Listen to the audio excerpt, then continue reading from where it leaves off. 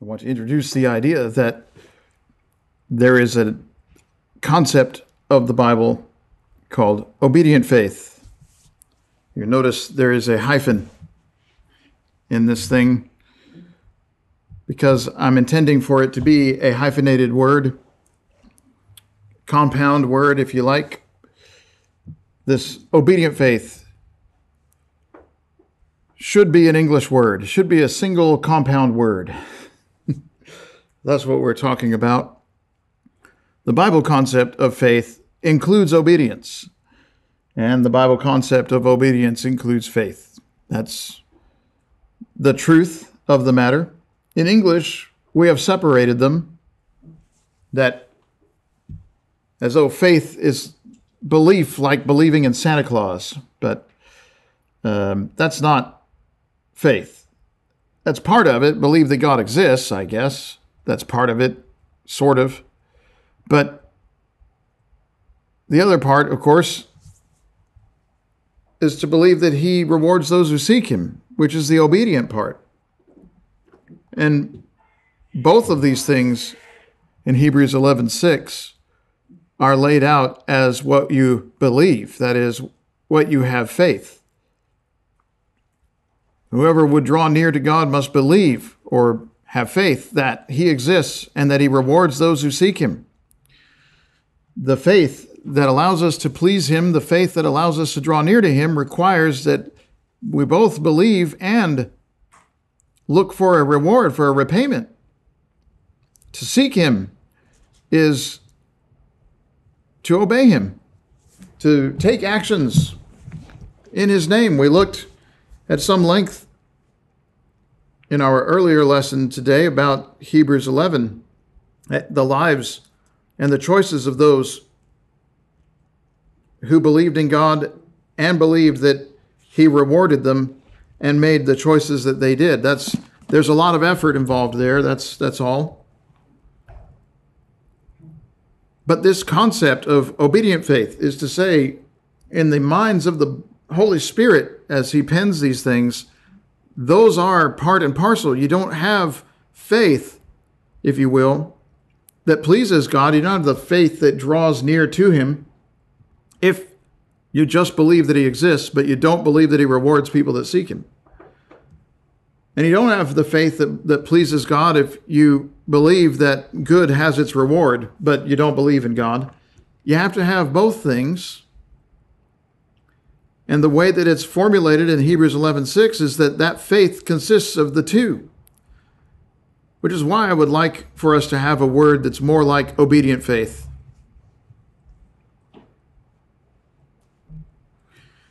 If you turn over to James chapter 2,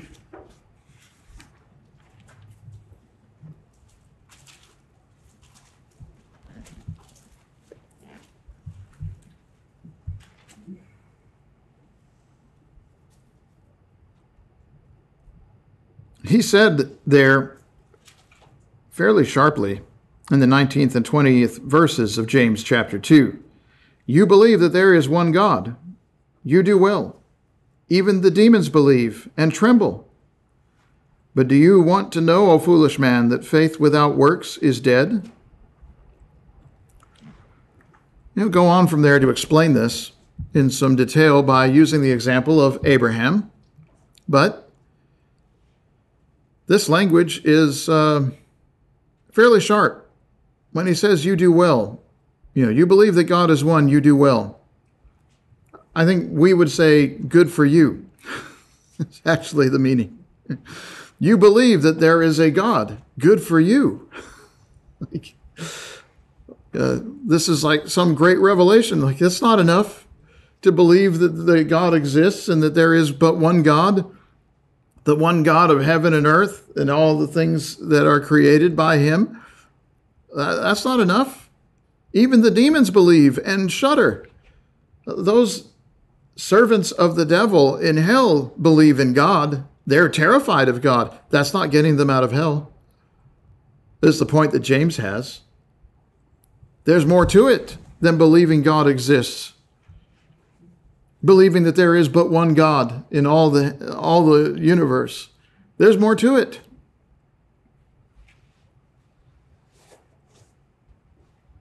And his larger point here is that faith without works is dead. He said, Do you want to be shown that it's dead without works?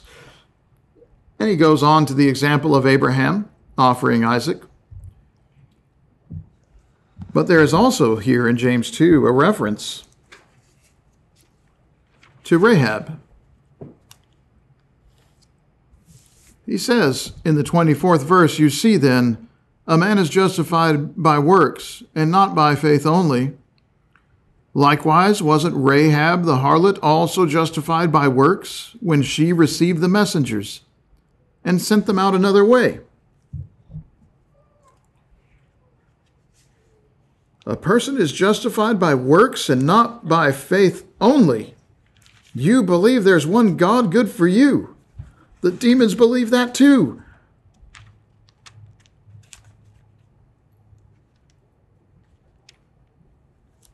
But Rahab was justified by works as well.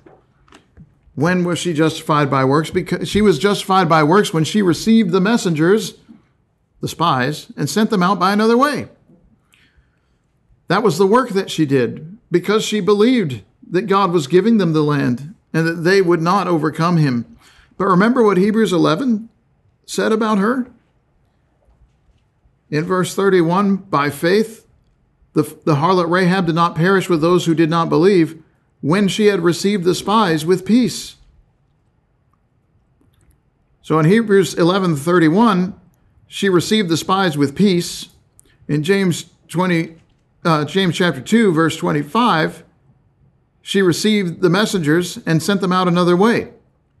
That is with peace, because if you remember the account, they were being chased by the king of Jericho and his forces. She protected them. But did you notice that in James 2 at verse 25 it said, Wasn't Rahab the harlot also justified by works when she did this? But Hebrews 11:31 that said she did this by faith.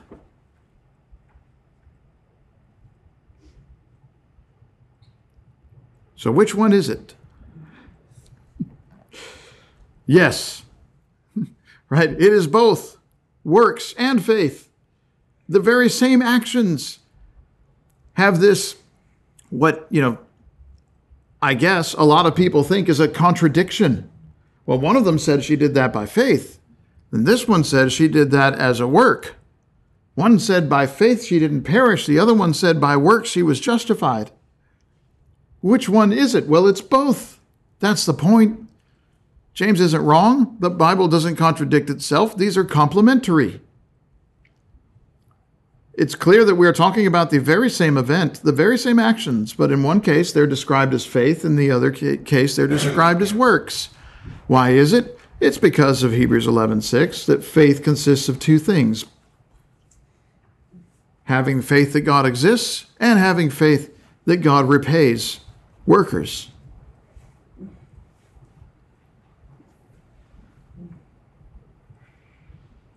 See, I'm objecting to the idea of faith as a mental exercise. In English, faith is a mental exercise. See, it's like believing in something, believing that it exists. And that's not biblical. You believe there's one God, good for you. Like, that's not the biblical belief. Faith without the works is dead. They, they work together in James 2.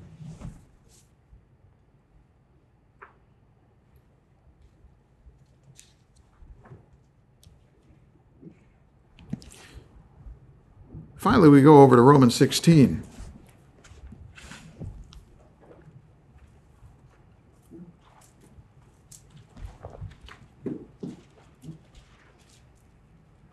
Consider this one with me.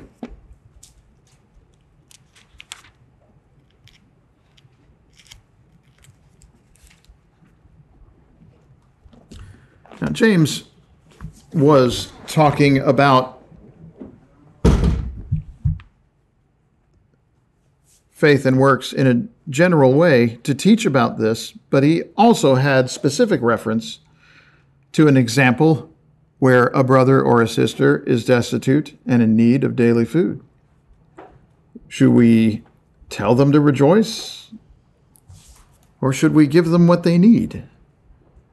You know, what good is it if we don't give them what they need? That's a an application of what he's saying. If you look with me in Romans 16, you'll see it does come down to a life that is the Christian life. So I don't mean to leave James in your mind as an academic exercise, as a you know, an, uh, an examination of the doctrines of men and of theology about faith and obedience. That's not the meaning in James. That's just the things that we talked about in this particular presentation. But I think Romans 16 is a little closer to the ground, and that's why we're using it. Obedient faith, Romans 16.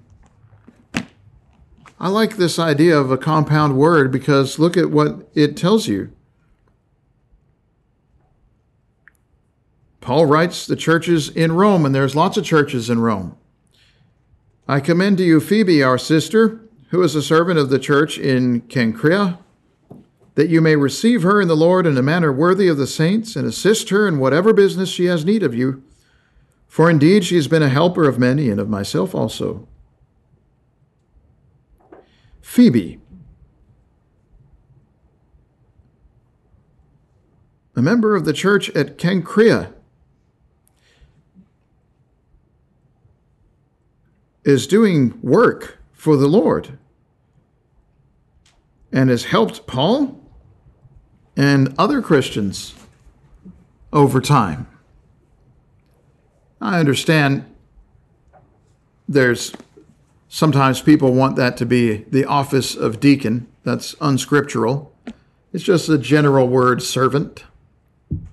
That's unscriptural. We know that because of Acts chapter 6 that the apostles said, Pick out from among you seven husbands, full of the Spirit and wisdom, whom we may appoint over this matter. And it is the word for husband, the unambiguous word for husband. There are no female deacons. Nobody holds the office of deacon who is a woman. But the word deacon is just a generic word for servant. She is a servant. She is working, putting herself in a position of service for the saints. then that's fine.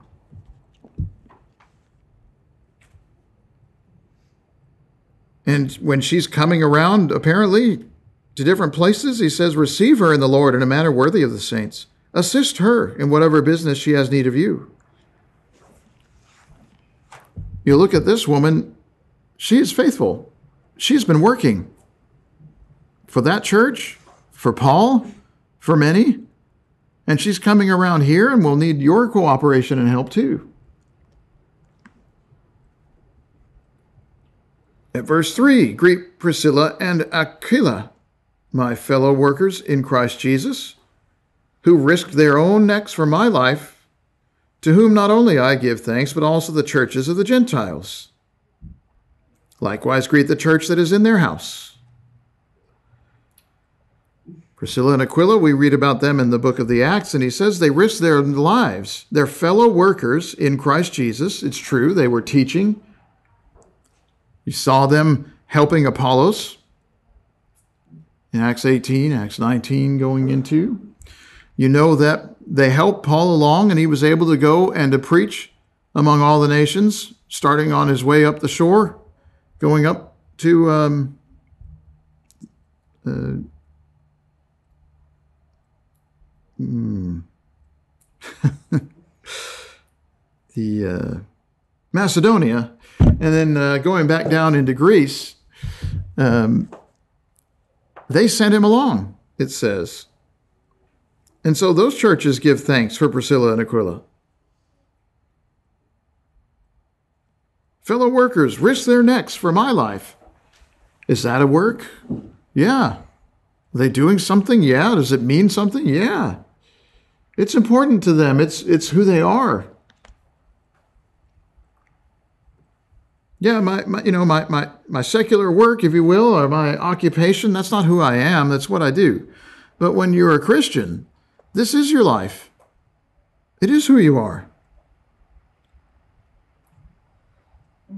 Greet my beloved Epaenetus, who is the first fruits of Achaia to Christ. Greet Mary, who labored much for us. Greet Andronicus and Junia my countrymen and fellow prisoners, who are of note among the apostles, who were also in Christ before me. These have labored much, worked hard for you. I Have fellow workers, fellow prisoners.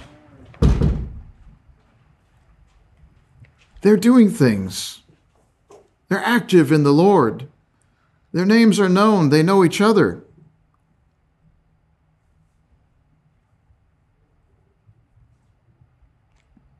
Greet Amplias, my beloved in the Lord. Greet Urbanus, our fellow worker in Christ, and Stachys, my beloved.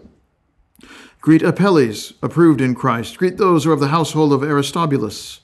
Greet Herodion, my countryman. Greet those who are of the household of Narcissus, who are in the Lord.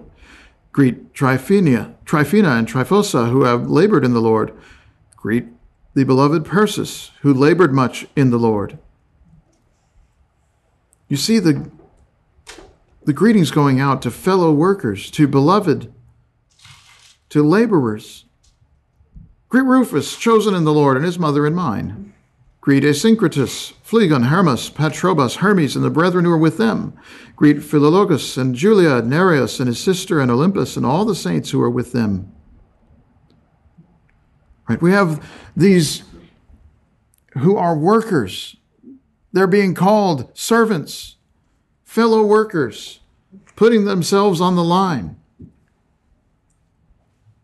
checking in to prison for the Lord.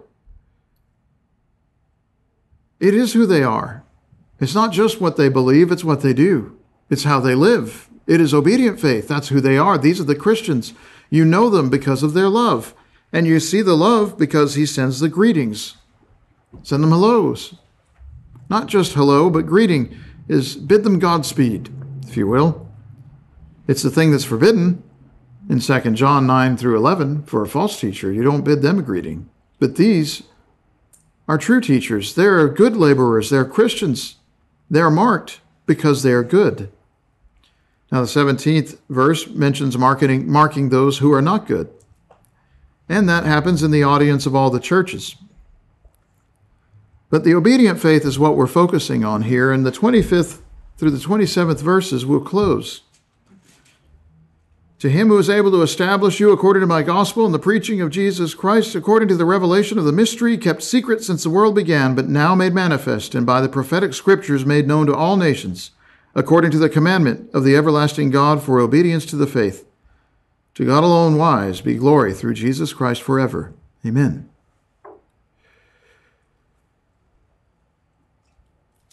This God establishes us by that mystery, the revelation of the mystery through these apostles. It was secret, but is now manifest by the prophetic scriptures made known to all nations. The Bible is the power of God to salvation, the word of God. The gospel is the power of God to salvation, Romans 1:16. And what's being made known? Well, the commandment of the everlasting God for obedience to the faith. Obedient faith is all one thing in God's eyes. His message goes out to bring about obedience. And the final blessing to God alone wise be glory through Christ Jesus forever. Amen. Now, we're not, in saying these things, we're not exalting ourselves or our actions. You know, Paul is not saying these Christians we read about in the first 12, 15 verses are somehow to be honored, you know, in the halls of history of the church. That's not what he's saying. They knew each other. Those, this, this letter was live. It was written to these people. They knew each other. He sent them hellos. We've mentioned Christians in other places that we know. In our prayers, it's the same thing. The glory is to God. The wisdom belongs to God. It's not from us. And the glory comes to Him through Jesus Christ. Those who are his children today, the Israel today, are those who obey him in Christ Jesus because they believe in him and they believe in what he wrote in the scriptures, what he caused the prophets to write, the message that has been sent into all nations.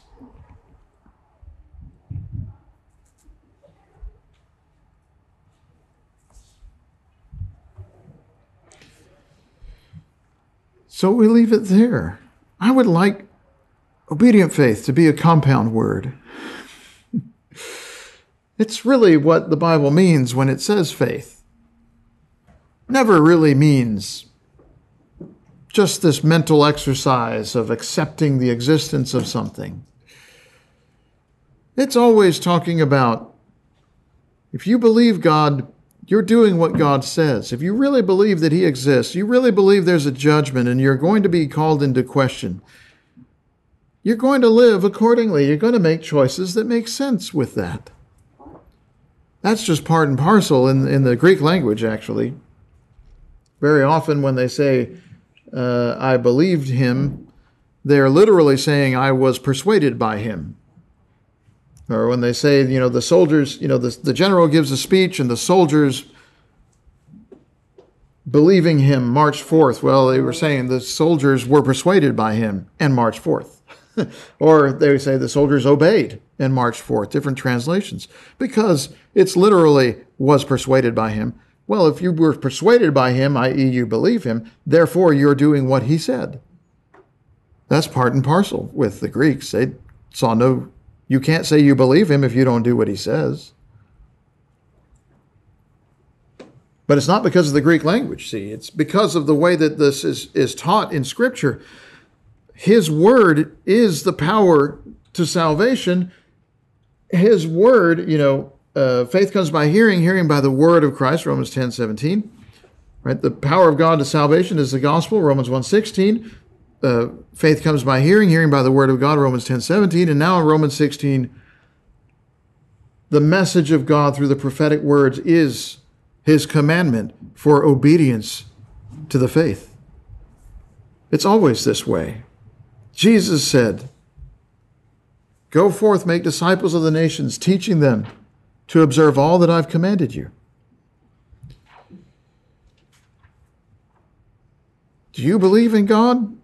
We can tell by whether or not you're doing what He says. Do you believe that there's a judgment, that you'll be called into question? Are you working in the local church? You know, look at Romans 16. How much do we look like that one? Do we look like the first 15 verses or do we look more like the 17th verse? You know, which group do we fall into here? What are, what are we being marked for? What are we known for? What is our name? You read through the histories of the kings in the Old Testament, there's always a summary for the king, you know? He walked in the ways of his father David, right? Or he did evil before the Lord. They always summarized it. What's going to be said about my life? What am I doing? What is, you know, the church is me and you. We're, we're the church in this place. If things are being done, they're being done by me and you. And if they're not being done, they're not being done by me and you. And we have nobody to blame but ourselves there. God will call us into question. Uh, fairly easy, I guess, to point at other religions and their theological arguments, but you know, just let's take our own inventory of what are we doing and what are we doing for God and are we living God's life and are we showing him through the power of him in our lives daily? Because obedient faith is what we have, is what we should have. What the Bible enjoins upon us. So today, are you a Christian? Become a Christian, become a child of God. To get started on that right life, we have water here prepared that you may be baptized in the name of Christ, through whom all nations come to him. There's no other way but him.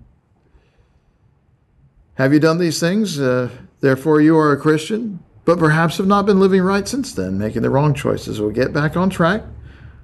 Pray God for forgiveness based on the repentance that is in your heart. But we're happy to pray with you for you that you might be restored to Him. If you need the prayers of the saints who need to be baptized, let your need be known now by coming to the front while we stand, while we sing.